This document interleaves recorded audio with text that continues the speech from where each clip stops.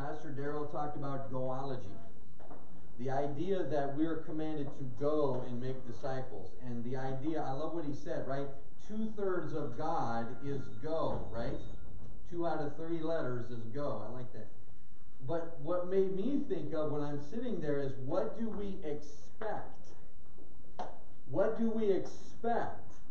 Because I feel like some of us, if we have this picture in our mind, we want to go. Some of us feel like, yes, this would be an amazing thing to go to Mexico, wash kids' feet, put shoes on their feet, talk to them about Jesus. What an amazing thing. But others of us in this room, we would expect that's going to be difficult. It's going to come with some hardship. It's going to come with some other issues. And then bringing it together here, what do we expect in our walk with Jesus Christ? See, what made me think about this is I feel like a lot of us, we walk into this room, what do you expect? For many of us, we walk into this room and you expect it's going to be the same as last week.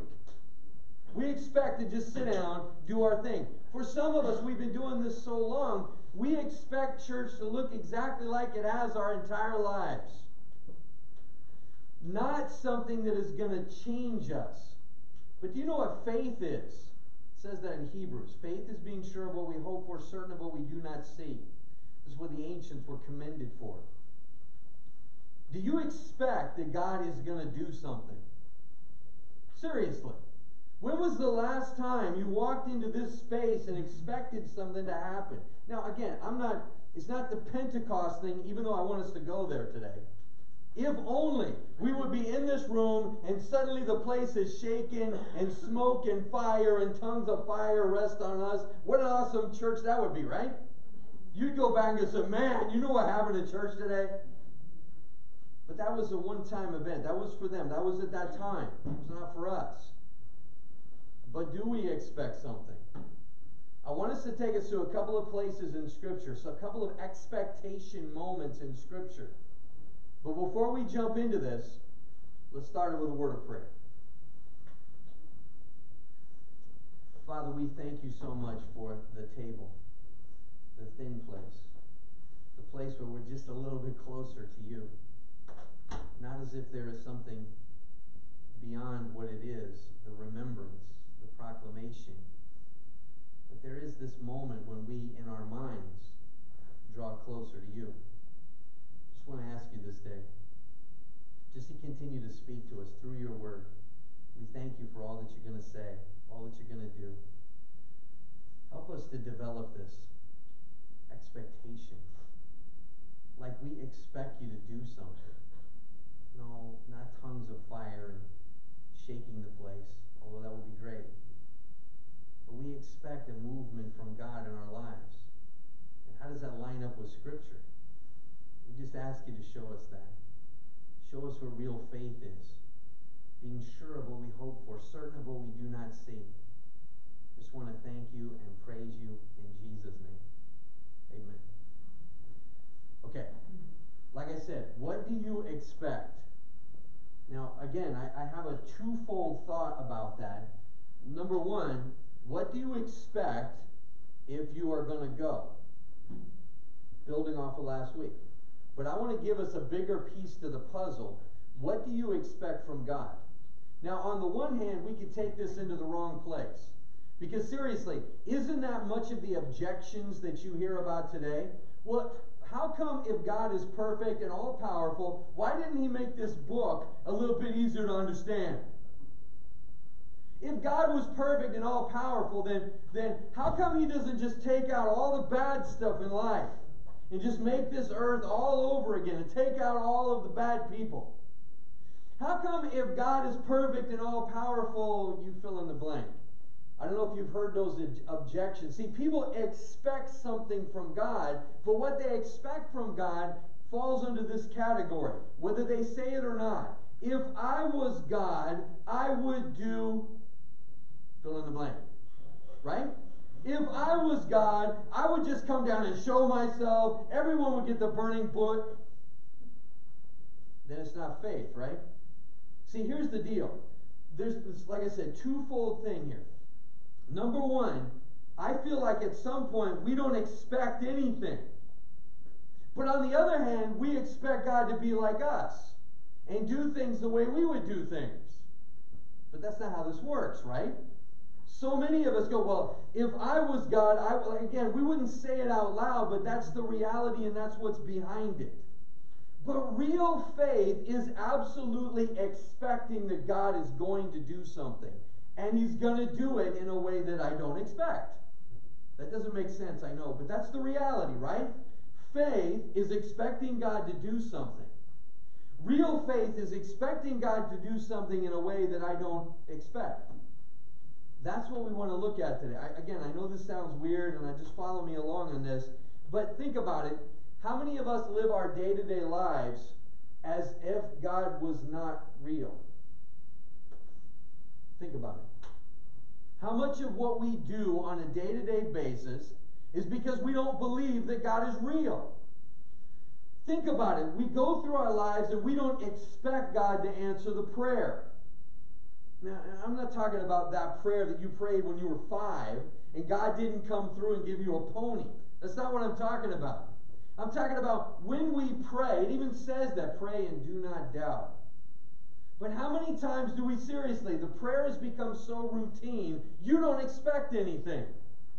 Oh, you've asked a hundred prayers in your life. And God hasn't answered. So I really don't expect too much anymore. I've been to church a hundred times and I don't expect anything to happen. That's not faith. Faith is expecting something from God. Let me give you some pictures in Scripture and show you what I'm talking about. And then we'll put this together with it. Well, what is God doing?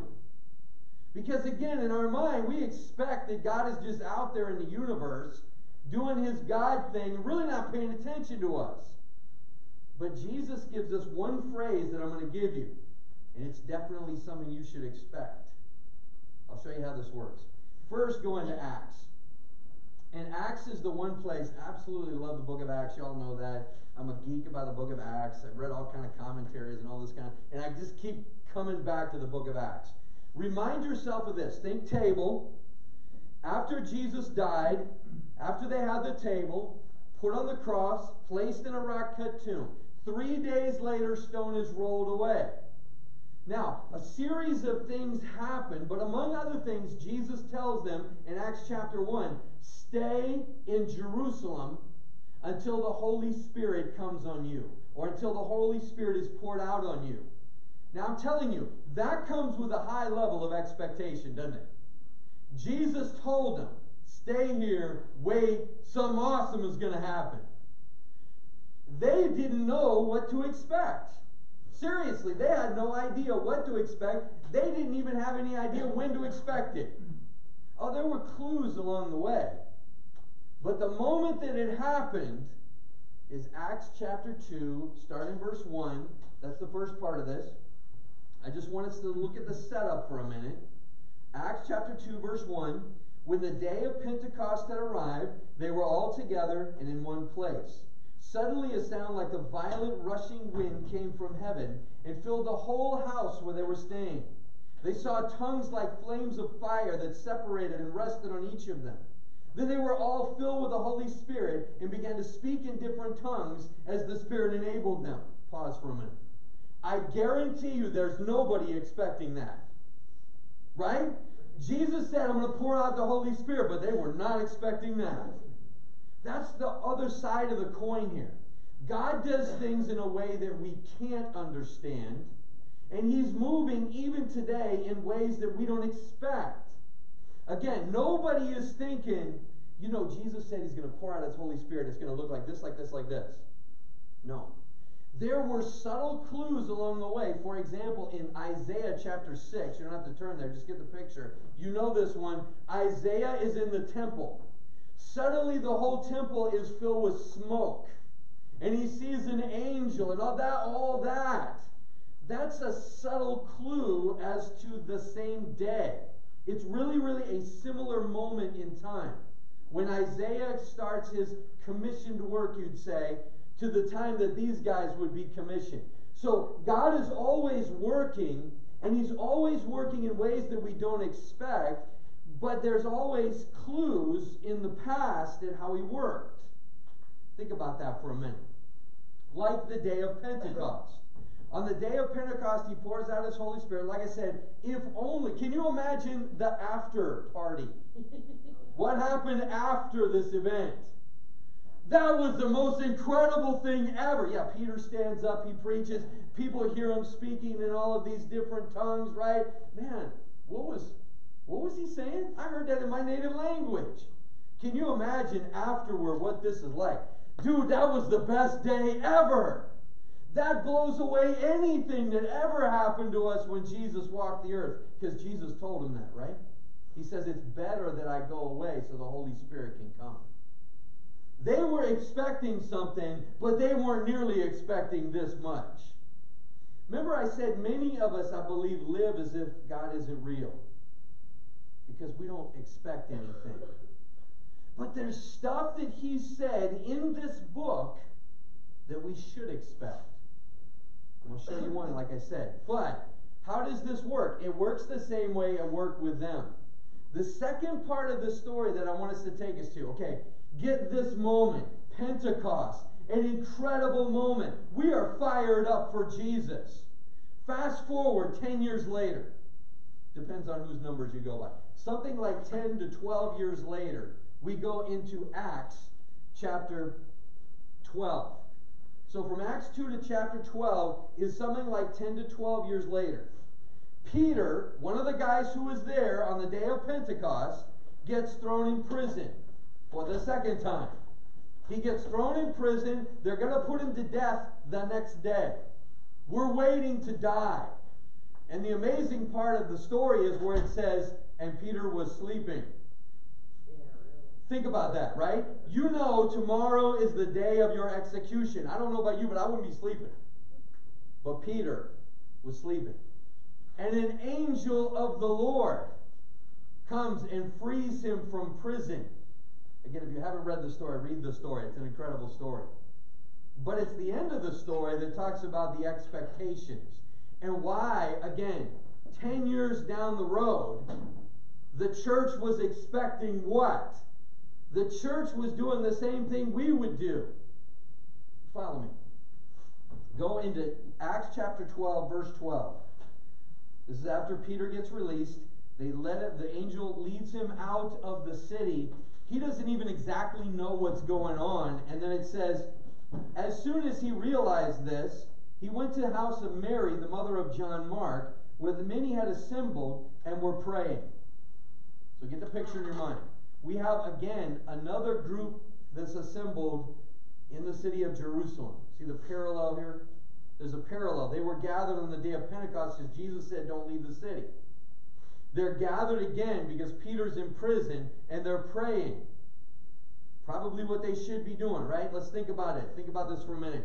Right now, suddenly becomes illegal for us to be followers of Jesus Christ. They take away Pat, put him in prison, say he's going to be put to death. We're going to have a little prayer thing at his house. You know we are. That's what they were doing, just like we would do. We're going to pray for him. I know there's different kinds of prayers, right? Some people in that room are praying, Lord, allow Pat to remain strong. Allow Pat to fulfill what Jesus said, that when the time comes, he's able to testify. Because Jesus said, when you stand before rulers and authorities, you will be given the words you must say. So we're going to trust that God, that's going to happen with Pat. Because we our, our prayers are about, Lord, keep Pat strong. Because we just feel like he's going to get killed tomorrow. That's how it's going to go. Maybe there's some of us that have that in the back of our minds. Lord, free him. It happened once before. He was released once before in a supernatural way. Maybe we don't even pray that one out loud. But there's some people that are expecting something to happen. And what happens? Look what it says. They're having this prayer meeting. House of John Mark's mom, Mary. Yes, another Mary in the story. They were assembled. They were praying. He knocked on the door of the outer gate, and a servant named Rhoda came to answer. She recognized Peter's voice, and because of her joy, she did not open the gate, but ran in and announced that Peter was standing in the outer gate. I love that. They're inside praying. You know they're praying for Peter, right? Maybe they're even praying for their own safety. Don't allow any of us to get arrested, too. Peter knocks on the outer gate. The servant girl goes out there. It's Peter. She gets freaked and runs back inside. Doesn't even open the door. You gotta love that, right? She is so excited. He's been released. But remember, nobody's expecting it. She didn't expect it, and she got freaked out. Now look at the next line. How do I know they weren't expected? Look at the next line. You're out of your mind. Come on, little girl. Stop it. Don't play with our emotions. You're out of your mind, they told her. But she kept insisting. It was true. It's his angel. You get it? They weren't expecting this. They did not expect this to happen. Again, remind yourself 10, 12 years that separated Pentecost from this moment. I bet if this was the day of Pentecost or like two or three days afterward, you'd expect it. But like every one of us, we have this tendency to fall back into the mundane, into the ordinary. We begin to fall back into our own patterns, we stop expecting it. I don't know about you. I've seen things occur. We pray and things happen. This especially happened when we become new Christians, right? Things happen that you can't explain. And all you can say is, it's God. God is at work. I prayed and it was answered. And it was God.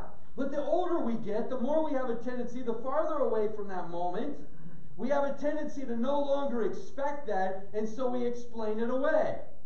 Well, that was really just my own intelligence and wisdom and skill. That wasn't God. Because we don't expect it. The last part of it, right? It says, You're out of your mind.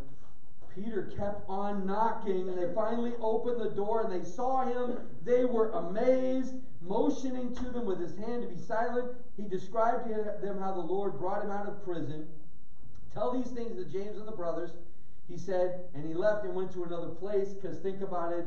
When you get released from prison in a supernatural way, they're probably going to want to hunt you down, right?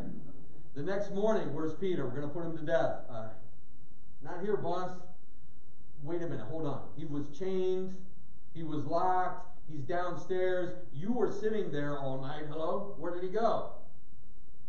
Search the area. So Peter's going to take off and go wherever he needs to go at this moment, right? Because that, that still is hanging over his head. But I love the picture that he paints. Peter just unpacks the whole story. Y'all, you have no idea what just happened. I was sleeping. You were going to get killed. I know I was going to get killed. It was crazy, all right? But I'm sleeping. And I got woken up by an angel. And my chains fell off. And the door was open. And I got out of there. And they led me right out to the gate of the, uh, of the city.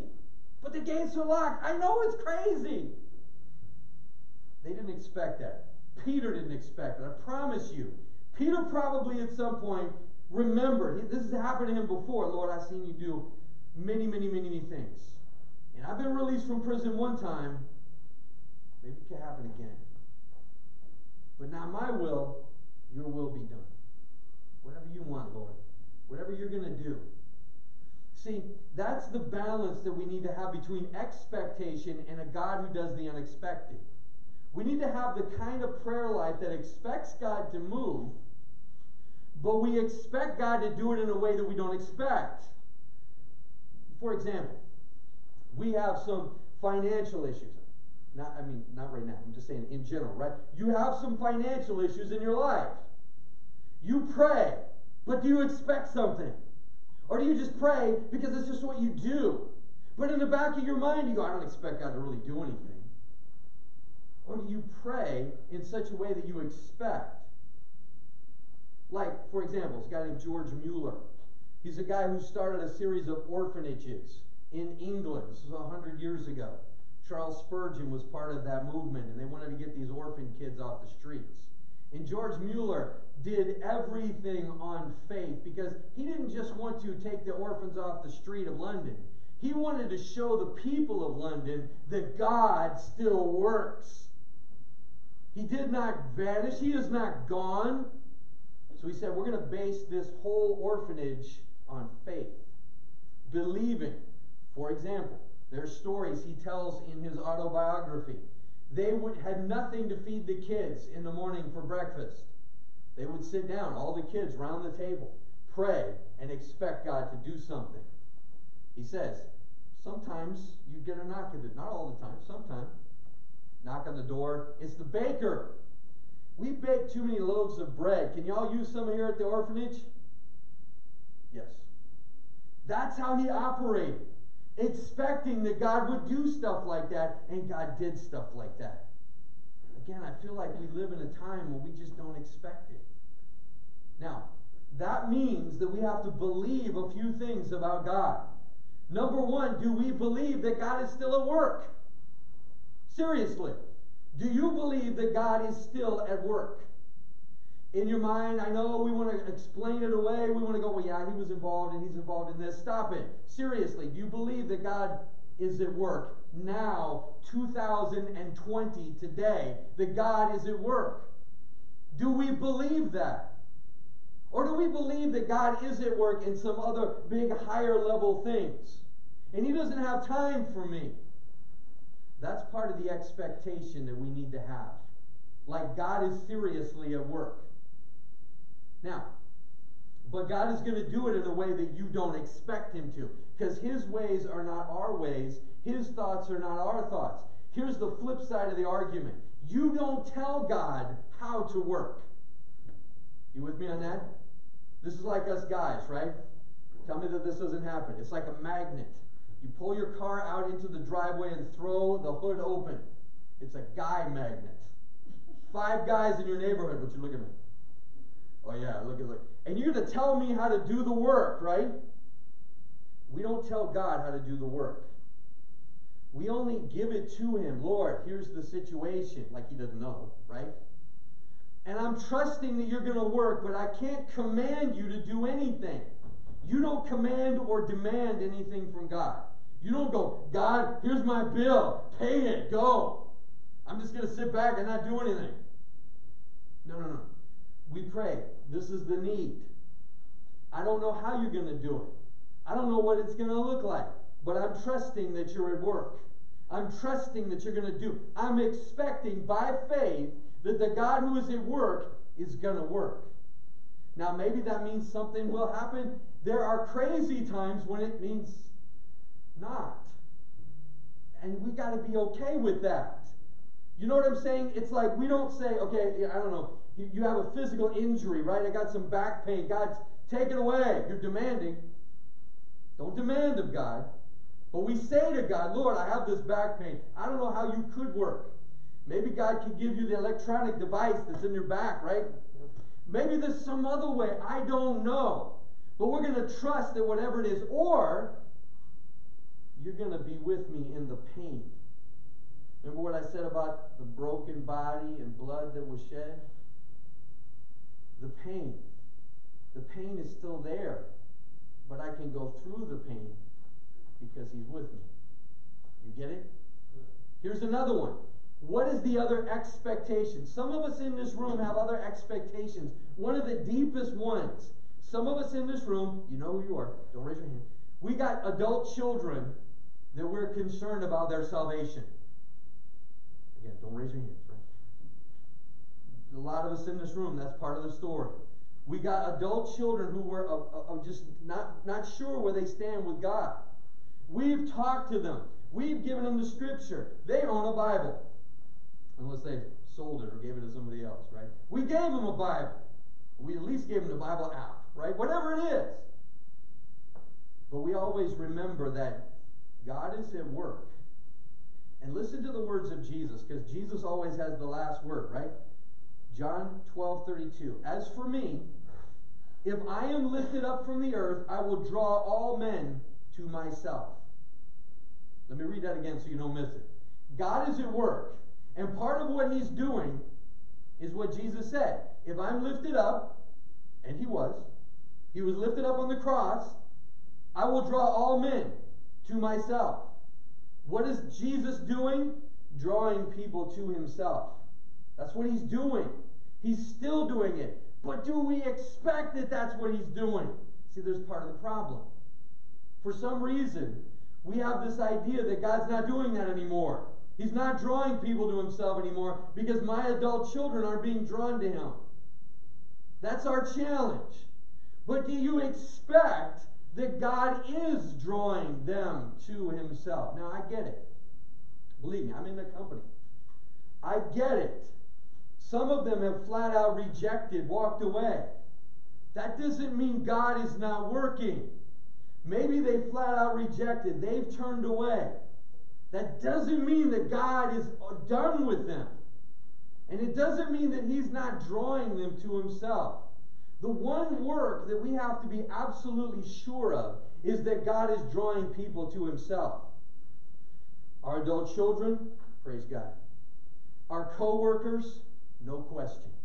The neighbors, yes. The people in the grocery store, see, if I lived my life believing that God and expecting that God is drawing people to Himself, shouldn't I be on the lookout?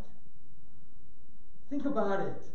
If I live like I believe that God right now is drawing people to Himself, then that means somehow I'm on the lookout for those ones that He's drawing. You get me? This is what we've been talking about in the salt and light discussion. The idea that there are people on this journey right now. For example, I heard about this one. David Platt was speaking this past week at Southeastern Theological Seminary. I watched the, the, the, the podcast or the, uh, the live stream that they had. And David Platt tells this story, and this is classic. David Platt at 3 a.m., he had to fly somewhere, and it was 3 a.m. He told his wife, I'll just get the Uber. It's cool. He couldn't rearrange his schedule. He couldn't rearrange the flights. He tried to, he couldn't. So 3 a.m., an Uber driver comes up to the house. And again, this is over the holidays. This is like in the last few months, okay? This is a story. Gets into the car. The guy introduces himself. He's from, and he didn't say where exactly, a Middle Eastern country. Immediately you go, okay, he's Muslim. Okay, they're driving along. What do you do? David Platt says, Well, I'm a pastor and I'm a pastor of this church. Really? Pastor? Can you understand dreams? And David Platt's like, Oh, wow, where's this going? and the guy tells him, I had a dream. And it is so strange, and no one can explain to me what it is. I had a dream of a baby, a little baby, in a crib, and he said to me, like a full grown person, Nothing is impossible with God. Do you have any idea what that could mean? David said, it was near it was near Christmas, so obviously you're thinking that way anyway, right? He goes, as a matter of fact, I think I do know what that means. Because those words were used. See, because Muslims, if you don't know, the idea of God being born, in the, an infant being born, is preposterous. A Muslim would say, Jesus born in a manger, God in human form, born to a woman? Preposterous. Impossible. And David explained it in those terms. Nothing is impossible with God. Obviously, the drive to the airport was about 45 minutes, and David Platt's that guy who's expecting, right? Tells him about Jesus, leads him to Christ, and he's going to David Platt's church probably this Sunday. Amen. That's how this thing works, right?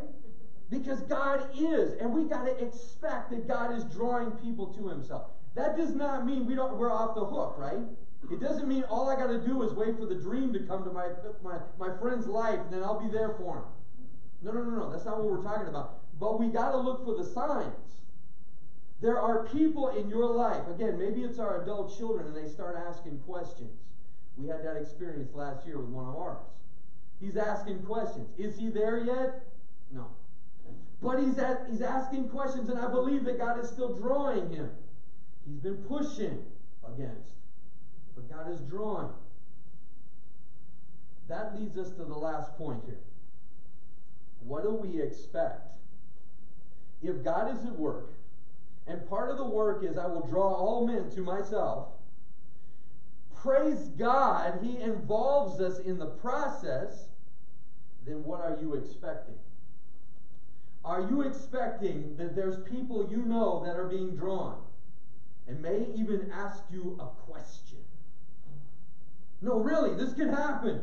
This really seriously could happen to us if we're expecting it. But how many times are we not? Oh, like when you go to the store, when you go to get gas, we don't even talk to people. I'm guilty as anyone. We don't make eye contact, we don't talk to them, we don't engage them, but we never know where they are. And is God drawing them? Maybe you're at the gas station at that moment for that reason. And if we live in a way that we expect it to happen, oh, that's going to change everything. If we live like we believe that God is actively at work today, right now, and He's drawing people to Himself right now, then we're going to live in a place of expectation. That's the greatest example we could ever have. But God will do it in a way that you don't expect.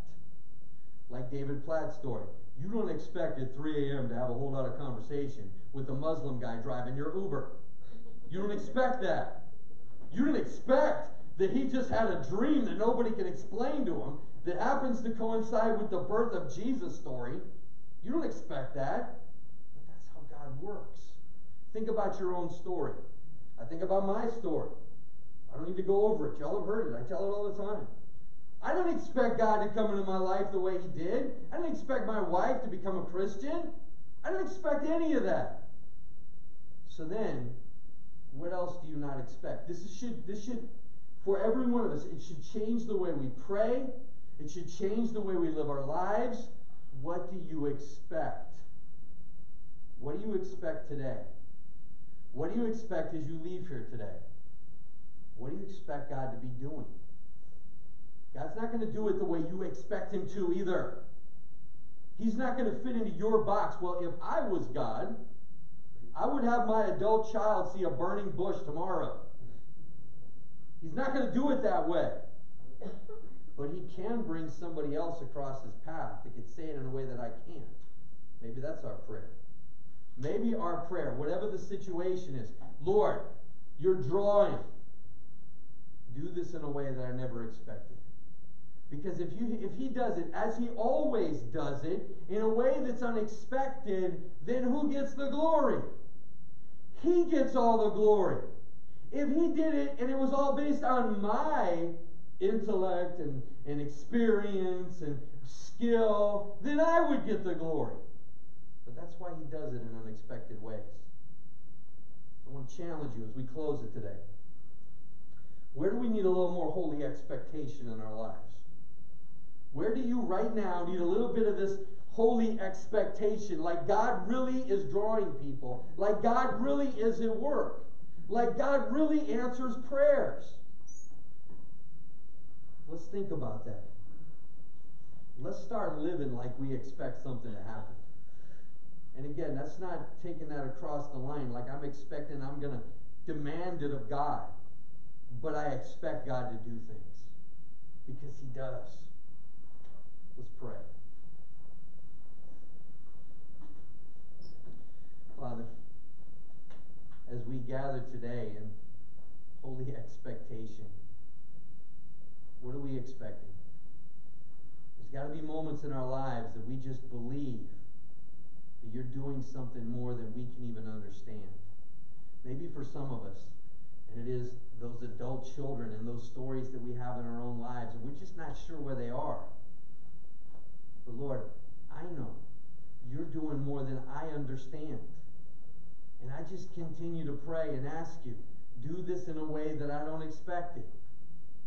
I'll be here for whatever you need me to do. You got to show it. You got to show me what I need to do. And I expect that you will. I expect that there's people in my neighborhood that are going through stuff right now. I expect that there's people right here in the neighborhood surrounding this school that need you so much. And you're drawing them. I know it because that's what you do. I know there are new people right now in this neighborhood. People moved in recently, and their lives are a mess. Maybe their first thought is not, I need to go to church. But how can we intervene in their lives and be that? the ministry of reconciliation, like we read about in your word? How can we be the person? Lead us to those people. We expect that you will, and you'll give us the wisdom and the knowledge to be able to handle it. Lord, help us to develop this mindset that you are at work. And part of the work is drawing all men to yourself. Help us to expect it every day that I'm going to encounter somebody that's in that process, that's being drawn even today. And we want to thank you for what you're saying and doing in the process. We thank you that you are doing more than we can understand. Lord, we're going to take just a few moments of silence. Help to increase our faith in that area, in the area of expectation. Like we are praying it and you're going to answer but not in the way we demand, in the way that you do unexpected things. We take this moment of silence and we lift up those people. Maybe there's people we know right now that are being drawn. How can we be involved in that process? Maybe there are people we know that they rejected that. They pushed away from it. They were being drawn, but I don't know anymore. Well, you're not done. Lord, we're going to take these moments of silence, and maybe somebody comes to our mind, maybe some situation. We just pray for what you're going to do. Let's take these moments of silence.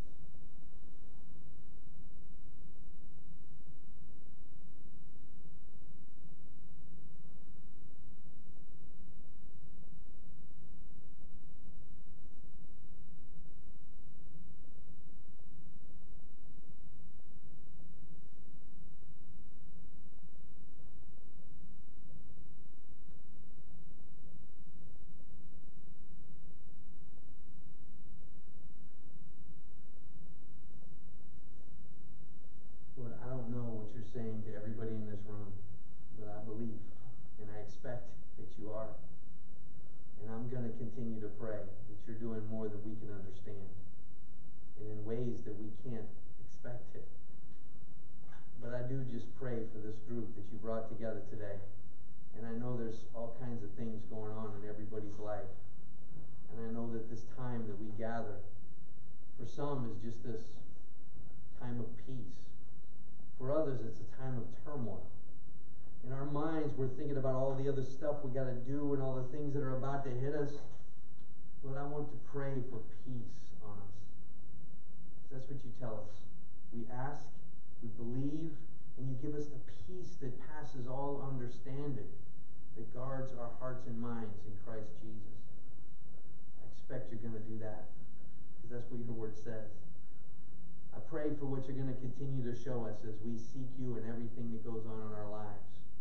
Pray for this church that you're going to continue to grow us closer to each other, closer to you, and you're bringing people, you're drawing people. Help us to expect that we're going to find somebody, even this week, that you're drawing in. Just pray for what you're going to do today. We thank you for all that you've shown us, and we thank you for your word today. Help us to not leave this place and just forget it and leave it here but help this to just be something that guides us all week. And we give you thanks and praise in Jesus' name.